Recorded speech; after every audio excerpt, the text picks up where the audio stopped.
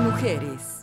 ¿Cómo están? Muy buenos días. Muchísimas gracias por iniciar la semana. Estamos iniciando también de manera laboral el mes de noviembre. Le damos la más cordial bienvenida a todos los que nos visitan a través de sus pantallas, de sus radios, en esta multiplataforma de C7 Jalisco. 3030-5307, el teléfono que ponemos a su disposición. Y el día de hoy, Marianita sigue eh, recuperándose, pero está con nosotros la maestra Marta. ¿Cómo está? Muy buenos días. Muy buenos días. Como tú decías, le mandamos un saludo a la licenciada Mariana, esperando que se mejore y nuevamente esté pronto con todos nosotros, que en lo emocional así está. Así es.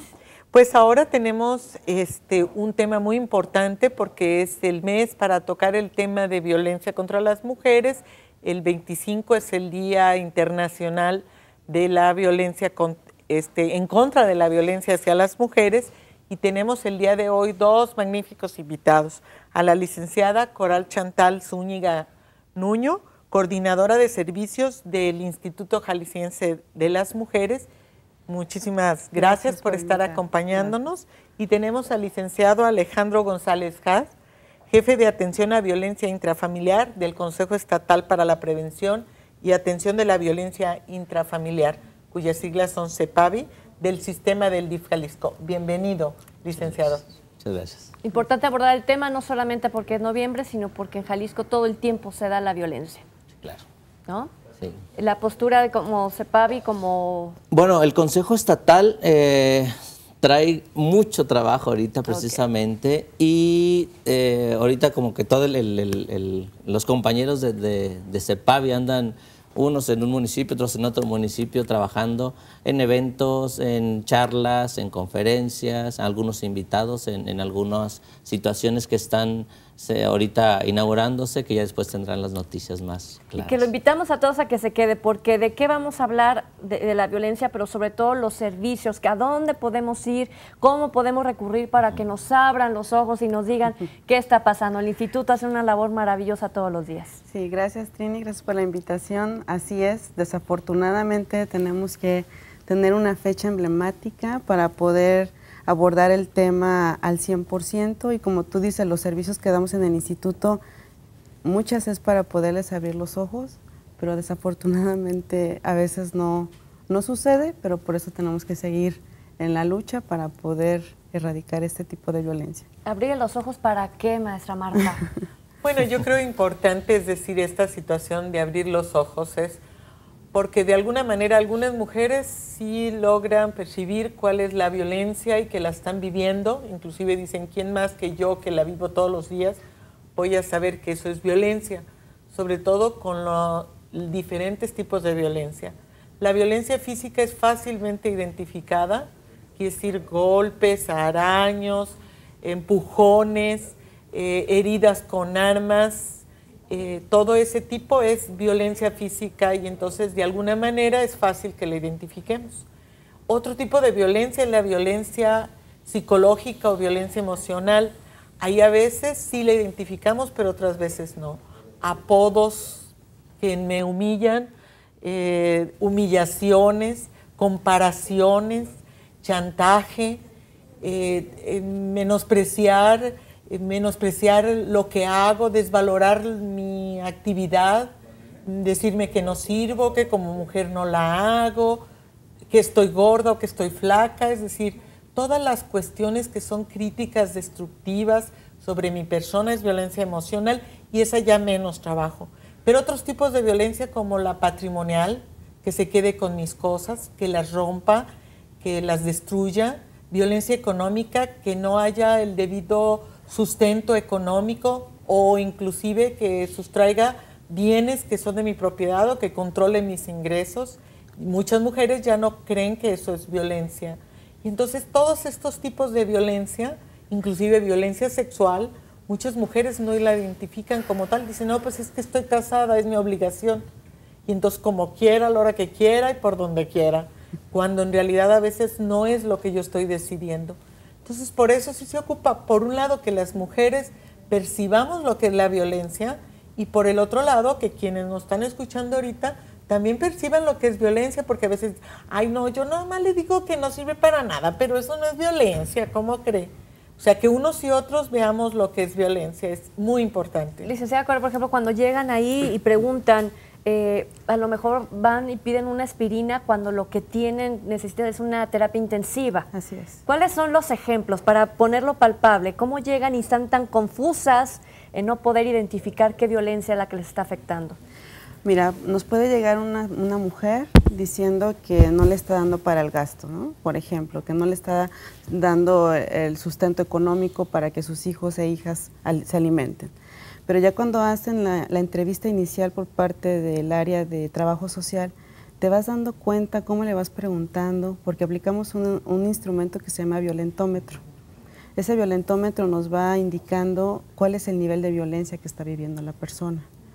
Le pedimos la autorización para, para, para aplicárselo y, vamos, y va preguntando a la trabajadora social con esa experticia que ya tienen y te vas dando cuenta o se van dando cuenta ellas que van, van palomeando muchísimas de aquellas opciones que pensaban que no estaban. Decían, yo nada más vengo para, que, para preguntar cómo hago para que me dé dinero, pero en realidad ellas están viendo cómo están viviendo violencia y un nivel de violencia grave y que ellas no lo percibían así como lo está comentando la doctora y que ellas lo veían normal. Entonces cuando empieza la trabajadora social a trabajar en ella y decirle, mire, este, aquí está un grave problema, incluso ya podemos llegar a casi el feminicidio, ¿no? Entonces ya cuando vemos, detectamos algo tan grave, no la soltamos en esos momentos y la tenemos que, la sensibilizamos para que pase con la psicóloga y con el abogado o abogada para que le hable sobre esta grave problemática que está viviendo. Cuando dice feminicidio, ay, ya me asusto porque estamos tan acostumbrados en todos los niveles sociales a la violencia de cualquier tipo. Ahorita estamos hablando a lo mejor un aspecto muy íntimo en casa, pero la mujer es víctima de violencia laboral, es víctima de violencia en la calle, es víctima de violencia en cualquier espacio donde se ubique. Tan es así que es conocido como un grupo vulnerable. ¿Cómo en este consejo atienden a estas mujeres? Eh, anteriormente eh, estaba la campaña y la, imagen que quedó muy grabada de quítate la venda. Hoy creo que es eh, quítate la venda y, date cuenta que esto no es normal. Entonces, tenemos que decir que no es natural, que no se vale, pues. El Consejo Estatal tiene 35 unidades de atención en violencia intrafamiliar en 2015 40 afortunadamente y esperamos sumar a más municipios. Pero en las unidades de atención es donde se recibe a las, a las personas que tienen un problema de violencia intrafamiliar. Y ahí es recibida por una, algunas tienen una persona que hace una entrevista filtro para ver qué tanto es de violencia y después las pasa con los tres especialistas, trabajador social, un psicólogo y un jurídico, donde cada uno da pues una pequeña entrevista para saber cómo está su situación y posterior hacen la orientación. Y ya después de que está ah, corroborada la violencia intrafamiliar, así como el, instituto tiene una violentómetro, que es un instrumento buenísimo y es muy impactante, nosotros tenemos una pequeña encuesta de riesgo de violencia en el que ahí detectamos qué tanto se puede atender esta mujer tres meses, seis meses, nueve meses. Dependiendo de cada caso y según los especialistas lo hayan tomado, se le da toda la orientación y el seguimiento. Vamos a seguir platicando de esto después de la pausa. 30 30 5307, el teléfono que ponemos a su disposición y ya volvemos.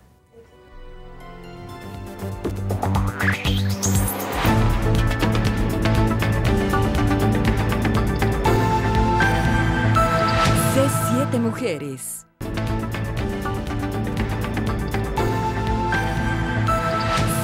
Siete mujeres. 3030-5307, la estamos invitando a que nos marque y le comento antes de continuar con el programa, la caravana estará el día de mañana 4 de noviembre en la plaza principal de San Gaspar, en el municipio de Tonalá, en la misma colonia San Gaspar. El domicilio es calle Independencia sin número entre Hidalgo y Emiliano Zapata. Así que mayor información 01800 3343 y tenemos una invitada más, maestra Marta. Sí, encantadísima de tener a la, a la doctora Carlota Tello, directora de Tejiendo Redes, Educación y Bienestar ACE.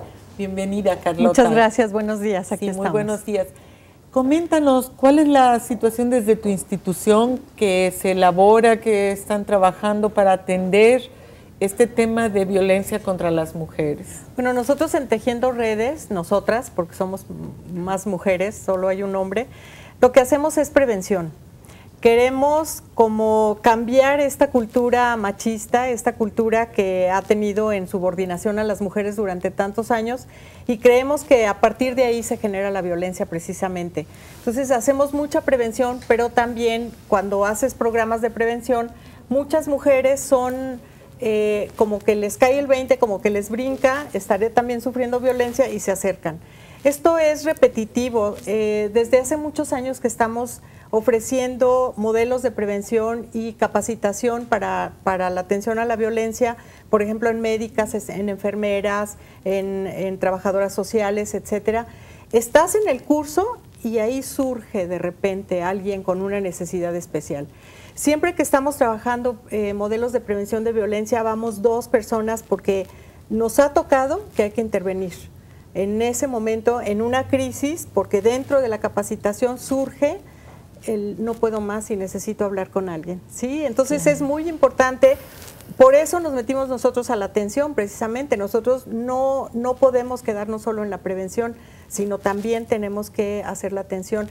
Y bueno, como trabajamos también en comunidades, eh, pues también ahí surge la necesidad de atender a algunas personas. Eh, no las atendemos solas, a mí me parece muy importante decir que desde Tejiendo Redes, una, una este, organización de la sociedad civil, siempre hemos trabajado en vinculación con el Instituto eh, Jalisciense de las Mujeres, con los institutos municipales, con el DIF Jalisco y con algunos otros DIF municipales. Muy bien. Siempre en colaboración. Pues muchas gracias. Yo creo que es muy importante que estemos aquí, este, todas las instituciones, este, trabajando en ese sentido. Aquí estamos algunas, pero hay mucho más. No sé, Coral, sería como muy importante que nos comentaras cuál es la dinámica de esas mujeres, cómo llegan, de qué tipo de violencias eh, se están atendiendo aquí en el instituto. Mire, doctor, pues la verdad es una afluencia considerable. Estamos atendiendo alrededor de 50 personas a veces al día, es muy pesado, 50, 60 personas. Ellas llegan en primer momento con la trabajadora social en base a un protocolo que tenemos establecido para la, para la atención presencial. Pasan con el, la, la trabajadora social, les hace la entrevista inicial en donde ella tendrá que detectar de alguna manera cuál es el nivel de violencia y sus necesidades. Porque muchas veces llegan mujeres en las que, como lo comentaba hace rato, este, yo necesito que me digan cómo cómo poder alimentar a mis hijos e hijas y resulta que su necesidad es otra. Es otra y es más importante. Como por ejemplo, ¿cuál? Cuidar su vida. ¿Cuál? La violencia eh, física en ese caso. porque dice, eh, ahí descubrimos que la necesidad es otra. Exacto. ¿Cuál, por ejemplo? Si, si ella, vemos el nivel de violentómetro que es ya muy grave, eh, le, ya le damos como, primero con la psicóloga para que haya un trabajo para concientizarla sobre la, peligrosidad de la que está viviendo. Porque a mí me gustaría ahí, a través de esa televisión, de, este radio que nos están escuchando, nos están se están poniendo las pilas de forma práctica. Cuando me dice, es que vemos que el problema es más grave, ¿cuál? ¿Qué? ¿Cómo lo identifico? Que, fuéramos un poquito más eh, con el ejemplo. Por ejemplo, ¿qué, ¿qué, niveles de violencia? O sea, cuando tú dices grave en ese violentómetro, ¿cuáles las...? Ok, bueno el violentómetro podemos llegar al, grado de que nos diga, el mismo violentómetro nos refleja que ya ha sido herida con un arma.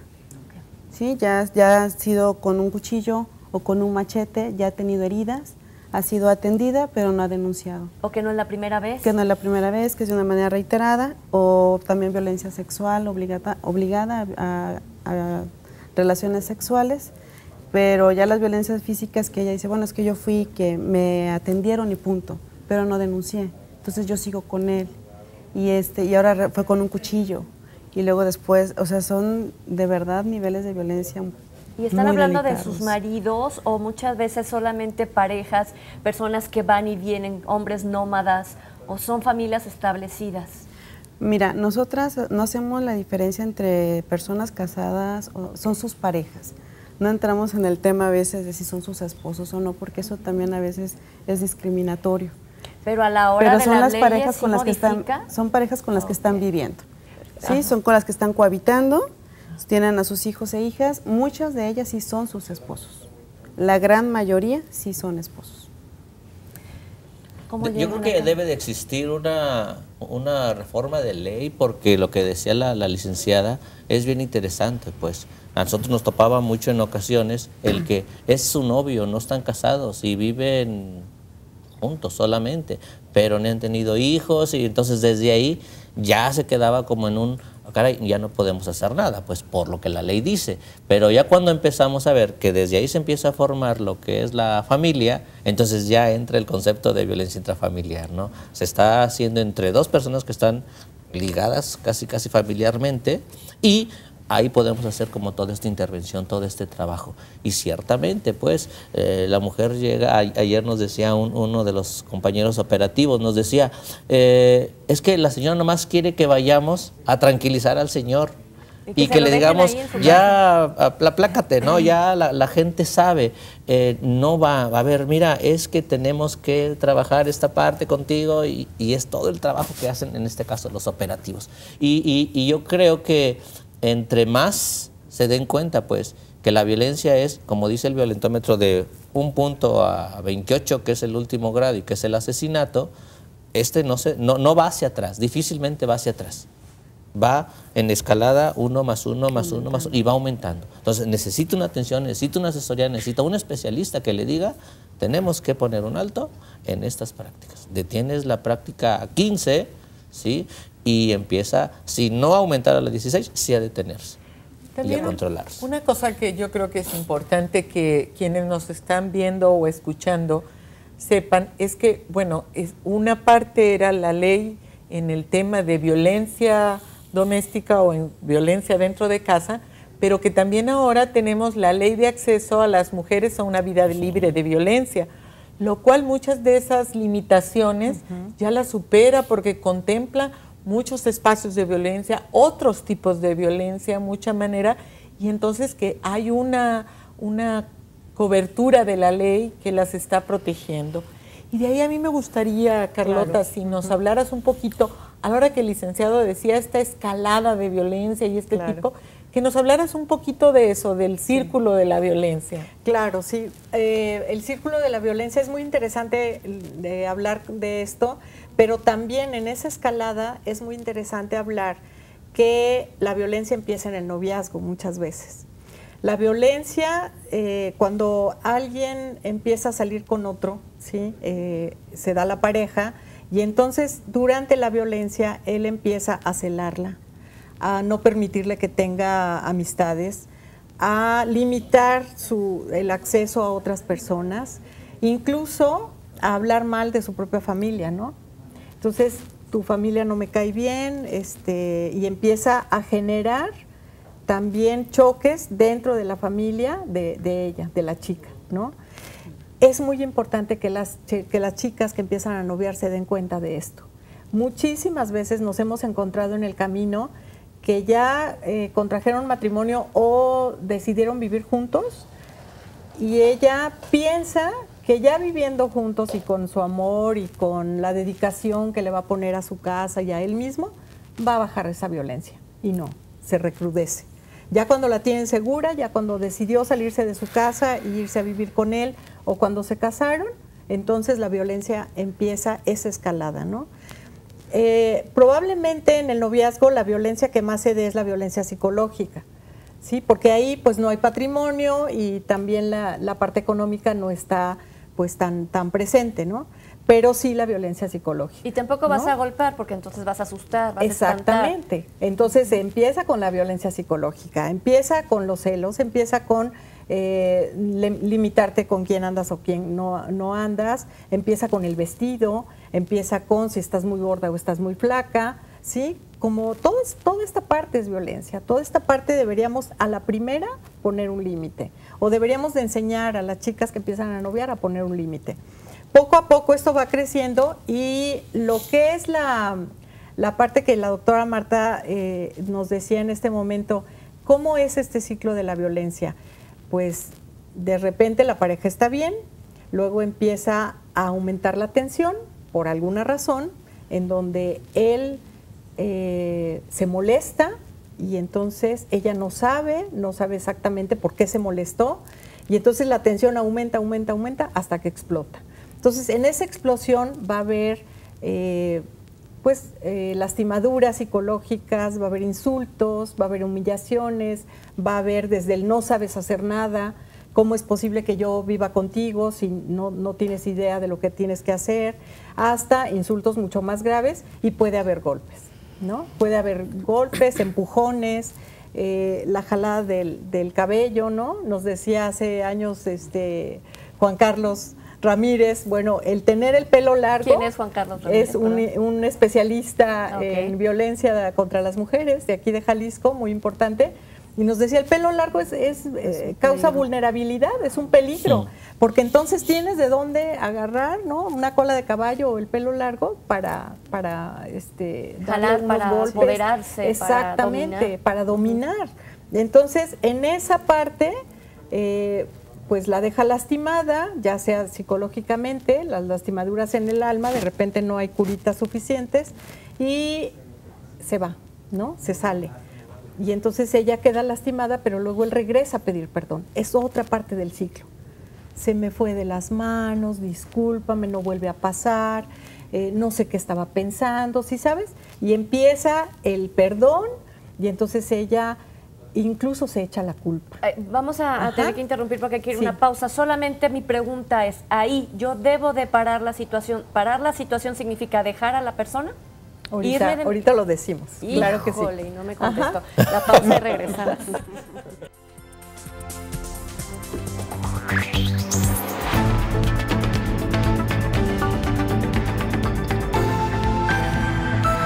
C7 Mujeres.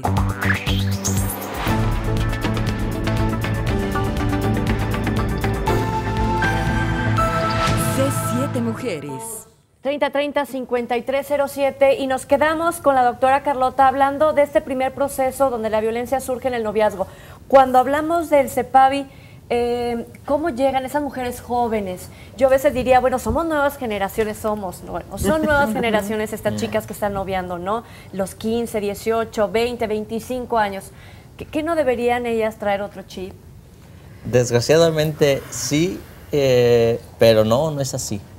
Eh, la, violencia trae toda una, eh, una historial atrás. Mamá me lo enseñó, mamá me lo permitió. Y, sí hemos notado, pues, que estas chicas en la actualidad dicen, pues, sepárate, no lo necesitamos, hablando de un papá. Cuando tienen su pareja, empiezan a tener este tipo de actitudes en noviazgo, que es pinta para que lleves el mismo patrón que te enseñó tu mamá, que, lleva tu mamá.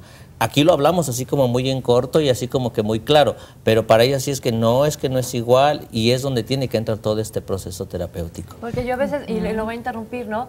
Este, las mamás sufridas, es que yo me quedé con tu padre por ti. Sí.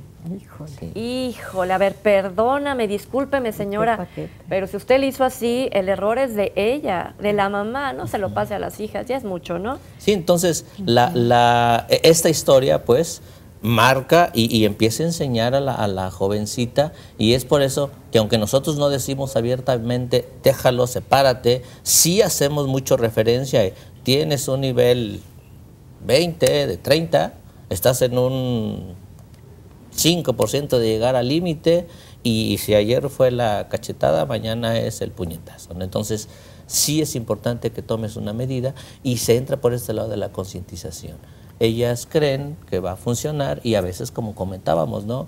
No tienen un apoyo pues en casa. Es, te casaste, eso quisiste, regresate. Ese es tu marido, ¿no? Entonces, esa es la parte con la que luchamos a diario. Claro, y luego también, dijéramos a la hora que tú dices, bueno, no lo pasen a los hijos, pero también quienes ahorita nos están escuchando como hijos o familiares, a veces es muy duro y a veces es más fácil identificarse con el victimario que con la víctima porque el poderoso atrae más y uno quiere imitar más al que tiene el poder, así sea a través de la violencia, que con la persona que está sufriendo. Y muchas veces culpamos de todo. Ay, mamá, es que tú te lo buscaste, mamá, mira, porque toda la familia está sufriendo. Pero cuando las madres llegan a dejar a sus parejas o se llegan a separar, esos mismos hijos que le decían, ya no, ya déjalo, vámonos, dejémoslo, luego la recriminan. Es que tú no tuviste aguante, ¿por qué? Mira todo lo que perdí. En días pasados, dentro de las mujeres del refugio, una de las chamaquitas adolescentes que había llegado junto con la mamá al refugio, le lee una carta hermosísima y le dice que le, que le pedía perdón por todos los reclamos que hizo por haber parado en seco una violencia que estaba a punto de hacerla perder la vida a ella y a sus propios hijos y la adolescente no lo entendía y estar en un refugio sin muchas posibilidades la hacía sufrir y entonces le reclamaba, inclusive fue violenta con su propia madre. Ahí en el refugio. Y en el refugio. Se reclamó. Y entonces, no, ahí surgieron los reclamos y en ese, en ese día ella le leía públicamente una carta porque también ella había recibido terapia. Entonces a veces los familiares y los hijos también tendemos y la sociedad, bueno, ella se lo buscó, ella es culpable, no pone el alto, es culpable. Creo que también debemos de quitar como sociedad, como hijos y hijas, como familiares, esa idea de que considerar que las víctimas son de algún modo culpables. Habría que ver su historia, qué tanto de veras la sociedad les hemos apoyado a cambiar, qué tanto ellas a veces han buscado la denuncia y no encuentran eco y no les hacen caso. Todo eso. Tanto también justificamos y apoyamos al agresor porque para ellos sí es muy válido algunas cosas, ¿no? Y decimos, no, sí, tienes razón, sí, tú, tú eres su esposo y tú la puedes. Entonces, eso fortalece mucho al, agresor. Y eso también es social. Socialmente también los hombres pueden este, ser más agresivos, pueden ser más violentos, pueden ser más groseros, pueden ser menos responsables eso también se justifica ya, ¿no? Entonces, creo que también, como dice la doctora, hay una permisibilidad social muy grave. La sociedad estamos siendo permisibles en gran parte sobre este tipo de violencias hacia las mujeres. ¿Qué les hace difícil a estas mujeres jóvenes para después ir más a una vida de adultos que pareciera que los, las ataduras son mayores? Pero estas mujeres jóvenes, ¿qué, ¿cuáles son algunas de las cosas que les impide dar el paso para sumar en vez de restar? Mira, yo pienso que en el tema de violencia en el noviazgo, como comentaba la doctora Carlota, es muy importante el poder detectar aquella violencia que yo viví en casa, en casa ¿no? Poderla concientizar sobre esa violencia, también al hombre, de cómo yo vi que mi papá fue agresivo con mi mamá y que yo lo estoy replicando. O sea, poder trabajar en esta parte con, el, con los noviazgos para poder una relación, tener unas relaciones sanas porque al final de cuentas ellas ya se ven como repitiendo la historia y lo ven normal. ¿A qué le tienen miedo? Híjole, yo creo que Yo creo que estar solas. La soledad es... Sí, la soledad. Eh, estamos muy acostumbradas a que las mujeres debemos de tener una pareja y con eso valemos más. O sea, la valía es ser la esposa de, ¿no?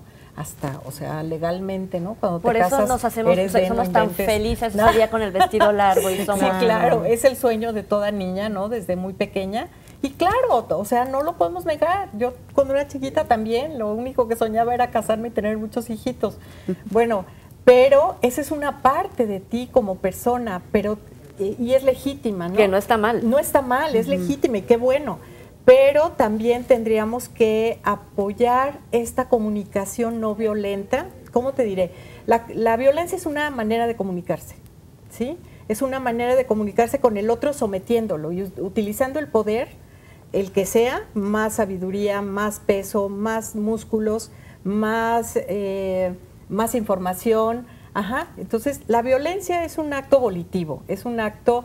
No, la violencia y la agresividad no es lo mismo. La violencia es hago esto para someterte, ¿sí? Porque yo tengo el poder. Esa es violencia, ¿no? La violencia no es que se me salió. Lo, lo, que pasa es que se te quería salir y tú utilizaste la violencia para que no se te saliera. ¿Sí? Sí, que quede claro eso. La agresividad es un concepto que, que está eh, en nuestro cerebro y que nos ayuda a sobrevivir. ¿Sí? Hay que ser agresivos, pues sí, hay que motivarnos, hay que eh, cuidarnos de los peligros. Ah, para eso sirve la agresividad, pero la agresividad no somete, la agresividad no usa el poder contra los otros o contra las otras en este caso. Entonces, eh, esa parte es muy importante de, entender y también entender que ese sometimiento se utilizó durante muchos años y era legítimo que los hombres tomaran como la decisión de educar a sus esposas, ¿no? Igual que a los hijos. Entonces eran objetos, los hijos, las hijas y las esposas, como para ser educadas por ellos. Y si ellos los educaron con golpes, o sea, entonces es una manera de relacionarnos a través de la violencia. Podemos aprender nuevas maneras, podemos aprender maneras más armónicas de comunicación y menos violentas. Y si yo hablara de la sociedad tapatía jalisciense en general, eh, estos hombres y mujeres, ambos, estamos eh, desarrollando la cultura de la violencia. Sí, claro. No, no es que la estemos desarrollando, ya está instalada. Ya está instalada. Yo creo que no podríamos hablar de eso. Estamos desarrollando una cultura de no violencia. Eso espero, porque estamos trabajando muchísimo por todos lados. es que me refiero Para a lo mejor eh, los índices suben o bajan porque somos más como población o porque somos más violentos. No, yo creo que ahorita se ve más porque se abrió se, conoció lo, que sucedía dentro de los hogares. Incluso me gustaría decirte rápidamente que dentro de la última encuesta de INEGI sobre la comunicación y las relaciones dentro de los hogares, eh, hay algo que me, me sigue llamando mucho la atención. Más del 75% de las mujeres dicen que lo que sucede en la casa ahí se debe de quedar. Eso es muy peligroso para todo lo que hacemos porque quiere decir que la violencia que se vive, los abusos que se viven dentro de casa, ellas piensan que ahí se deben de quedar. Y no, no. El espacio privado del hogar se vuelve un espacio público cuando hay violencia y cuando hay alguien que está siendo lastimado. Mm. Algo, algo que, que, puede servir a lo mejor también es el por qué esta mujer regresa por el miedo a estar sola, por el miedo al, al, no agradar a los demás. El título de divorciada, separada, está sola, es sinónimo de busca y pues claro que no, esa es una. Y la otra es la cuestión económica. El hombre trabaja, trae dinero y pues tiene un recurso económico. La mujer no, la mujer está en casa, la mujer no trabaja, la mujer eh, no ejerce este dinero. Por lo tanto, no tengo dinero, tengo que regresar con él para que mantenga a mis hijos. Y lo que sí se tienen que dar cuenta todas estas mujeres es que conozco mil mujeres solteras exitosas y uno, dos papás solteros eh, exitosos que tienen a sus hijos. Entonces, ese es el potencial de la mujer que nosotros queremos en algún momento rescatar y decir, eh, sí puede salir adelante, con todos tus recursos, habilítalos. Ve a una institución, ve con un psicólogo, atiéndete, háblalo. ¿Podemos hacer esta ruptura? Sí, solo si ella lo permite, solo si ella quiere. Y ese es el, lo que hablaba la licenciada, el empoderamiento de... Claro, yo creo que aquí es muy importante, por un lado, es decir, que las instituciones sigamos trabajando, que hagamos visible que la violencia no es normal, que no está bien que la ejerzamos, que la permitamos o que inclusive nos hagamos de la vista gorda, quiere decir, del que no vemos la violencia o que inclusive la justifiquemos. Es decir, ah, y eso estamos hablando de todos los tipos, dentro de casa, en el trabajo, en el camión. Eh, muchas mujeres en, la vía pública sufren todos los días, sufrimos el acoso, un agarrón, una, un insulto, un, supuesto halago, pero que es grosero, ¿sí? que de alguna manera irrumpe con la, con, armonía? con la intimidad, con la decisión y que es violencia y que a veces no se quiere ver como tal. Entonces, que no la toleremos, que no la permitamos y que no justifiquemos que, ay, es que se merecía la cachetada, es que mira cómo es, ¿no? O sea, eso es importante, ¿no? canciones, los medios, aquí ahorita que estamos aquí, es bien importante que los medios participen, que no hagan anuncios que, que incrementen esta manera de ejercer violencia y de desvalorar a las mujeres. sobre todo eso, ¿no? De disminuir el valor. Eh, cuando ya las mujeres se han acostumbrado a todo eso, porque ese es el problema, que lo veamos normal y que estemos acostumbradas a y me voy a ir una pausa y regreso con esto, porque primero se va aprendiendo, pero ya cuando se llega a una madurez, ya se camina todos los días con ese costal que, ah, Dios, si le duele la espalda, le duele la cadera, por ahí hay algo que se está cargando y que hay que soltar. 30 30 5307 y volvemos.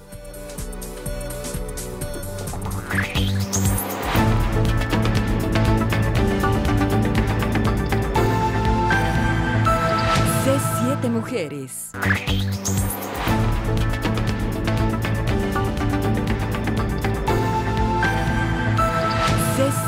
Mujeres. Muchas gracias por sus eh, llamadas de la colonia San Isidro en Guadalajara. ¿Por qué no dicen que los hombres también sufren la misma violencia que una mujer? Sobre todo cuando la mujer trabaja y el hombre se queda a las tareas del hogar, pues sufren igual que la mujer cuando es maltratada y yo veo al hombre muy desprotegido. Eh, ¿Quién quiere eh, hablar del Eh. tema? Que por cierto, este mes de octubre, y nos vamos a enfocar para que no se vaya a enojar y nos, y- y- y nos escuche, todo el mes en este programa, en este espacio, va a ser de la prevención contra la violencia hacia las mujeres en esta ocasión, ¿no?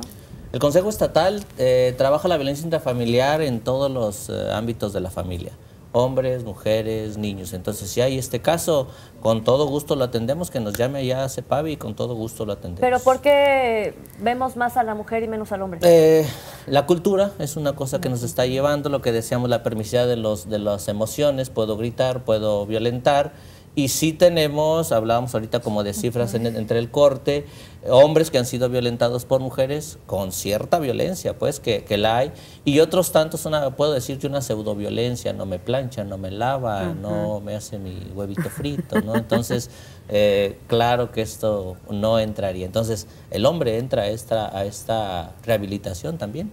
Es- Y que- hay, hay futuro para el trabajo con hombres. Y que en el porcentaje de hombres Mínimo. que sufren es menor. Es decir, y no, también el instituto, sí, Digo, nosotras también puede recibir. atendemos varones, pues. O sea, nosotras ah, también las unidades que van a nivel de- al interior del estado también recibimos hombres, atendemos hombres, asesoramos varones y les damos el, el acompañamiento hasta donde podemos, pues. Pero sí no es una limitante. A veces por ser el instituto de las mujeres, sí sien- no se sienten como. Bienvenidos, conectados y este y no van. Entonces, como dicen, les da vergüenza, pero ya ahorita te he de decir que ya atendemos más hombres.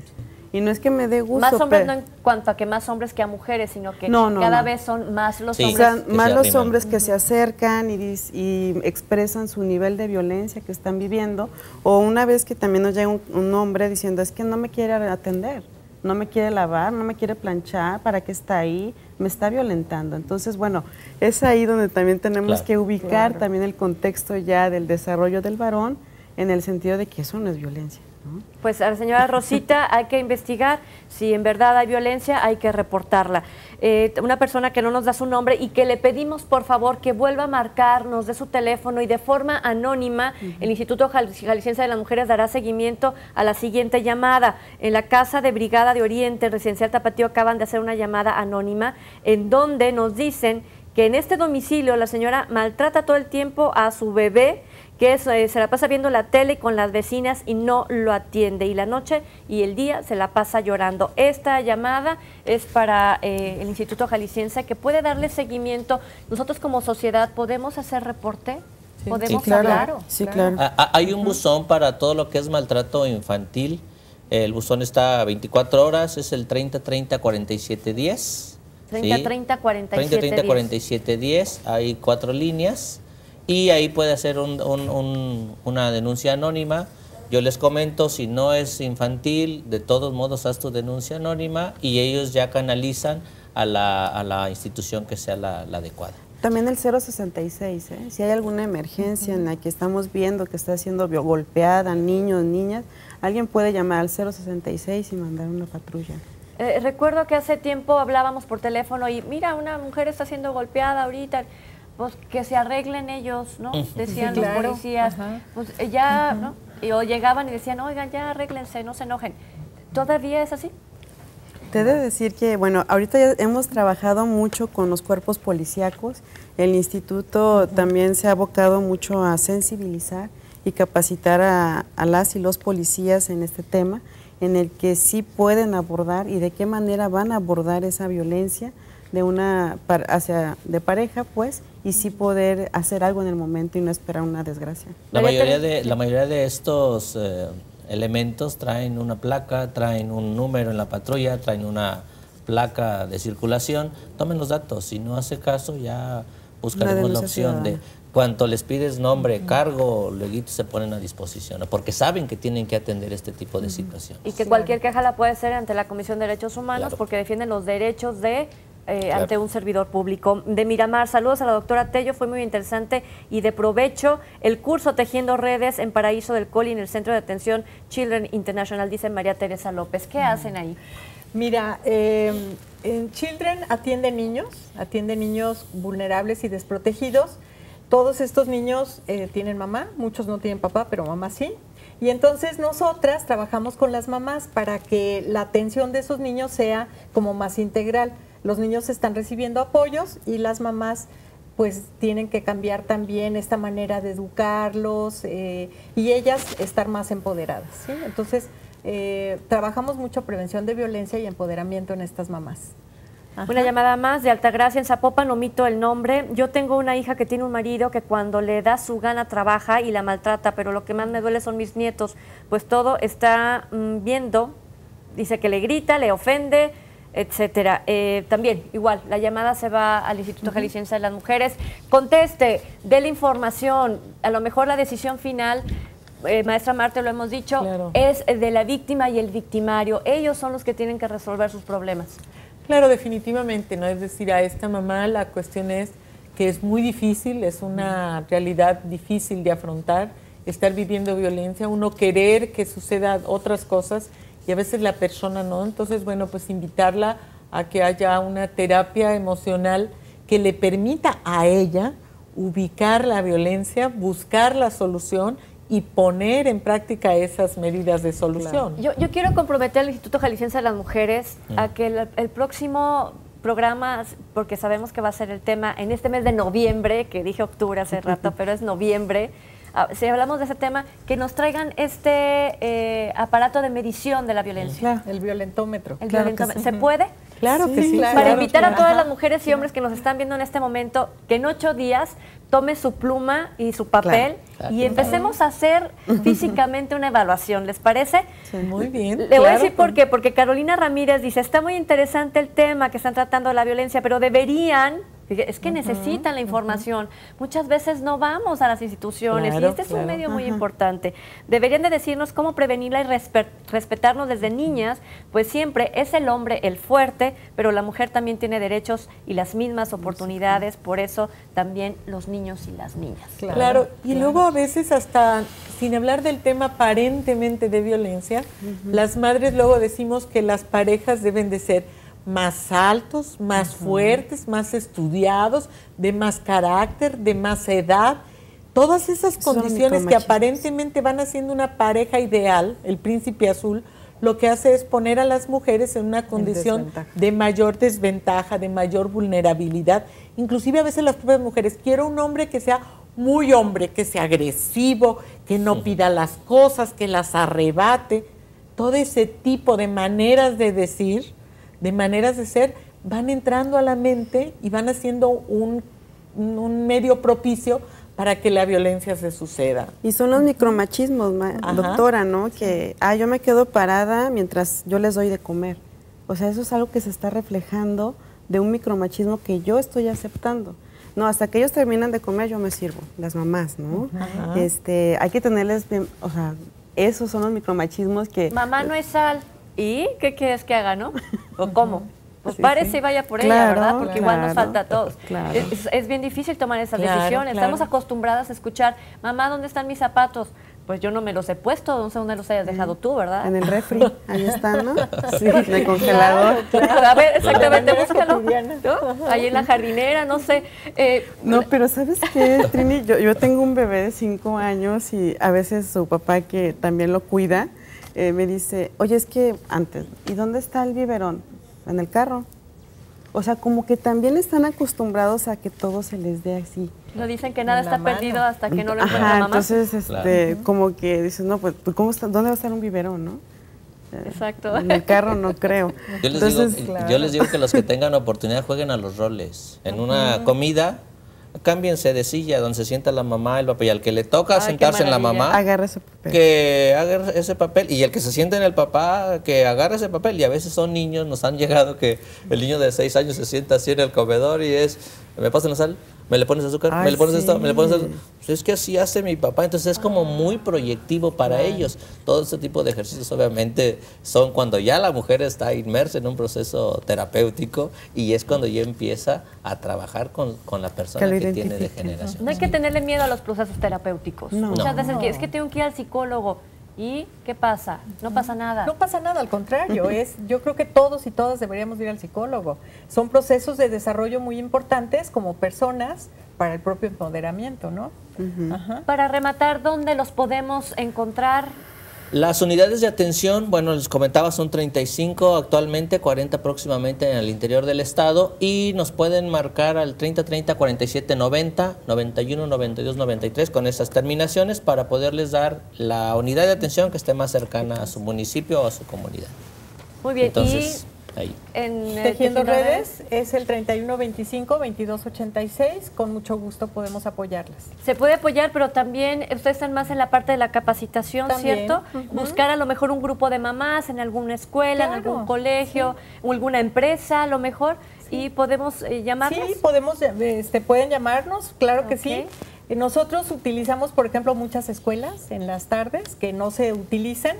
Entonces hacemos trabajo comunitario y nos prestan la escuela. Ah, ¿no? Y entonces ahí nos juntamos con las mamás y hemos tenido procesos hermosos en diferentes colonias. ¿Cuál es el teléfono nuevamente? 3125-2286. Muy bien, ahí está. Gracias. Eh, ¿Cómo cerramos por parte Bueno, del Instituto Jalisciense? En, en el Instituto Jalisciense de las Mujeres, en Miguel Blanco, 883.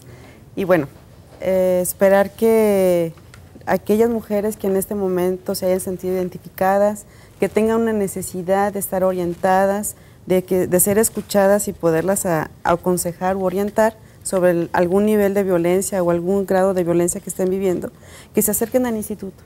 De verdad, este, tenemos un grupo multidisciplinario muy capaz, muy sensible, que podemos orientarlas y podemos apoyarlas en sus necesidades. Muy bien, maestra Marta. No, bueno, pues yo creo muy importante. Tenemos Línea Mujer que está apareciendo aquí en los teléfonos eh, en, en la mesa. Es, este, tenemos eh, módulos itinerantes, tenemos módulos fijos en los diferentes eh, municipios. También estamos ahí presencialmente de las 9 de la mañana a las 5 de la tarde y la línea mujer funciona de las 8 de la mañana a las 11 de la noche. Quiere decir que hay manera desde casa de llamar por teléfono, hay manera de ir directamente allá en el centro de la ciudad o ir a los diferentes módulos, también en la calzada, que está ahí junto con Fiscalía, si es que yo voy a poner una denuncia, también hay módulo. Entonces, hay muchos lugares en donde podemos buscar la atención, pero no nos quedemos sin ella. Así es, y recuerde, aquí no le vamos a decir deje a su marido, ni mucho menos, ni marido deje a su mujer, no. En familia y superándonos siempre, ten- teniendo precisamente esa capacitación de saber cómo puede crecer nuestro amor, cómo puede crecer nuestra relación. El día de mañana, 4 de noviembre, la caravana Mujeres Avanzando hacia el Bienestar en Plaza Principal de San Gaspar, municipio de Tonalá. Se queda usted con Paloma Cumplido. Muchísimas gracias por estar con nosotros.